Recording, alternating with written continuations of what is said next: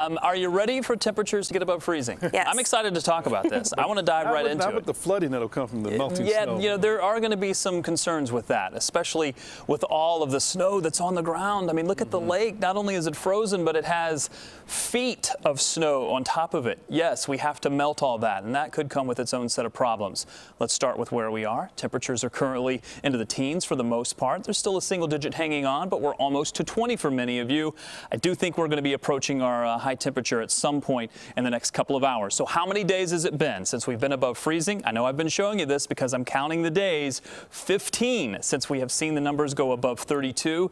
I'm just I'm shocked by that 43-day record back in 76 to 77. Our forecast is for 17 days, so we have two more to get to. One is going to be today, the other is going to be tomorrow, 23 for our daytime high. It'll be a lot like today. You'll have some sunshine, you'll mix in some clouds, and then we'll start to kick in with a south wind. The south wind will continue for tomorrow. In fact, it's going to it's for uh, Friday for Sunday, excuse me. Uh, it's going to really kick in 15 to 20 miles per hour. That's going to warm us up to 34.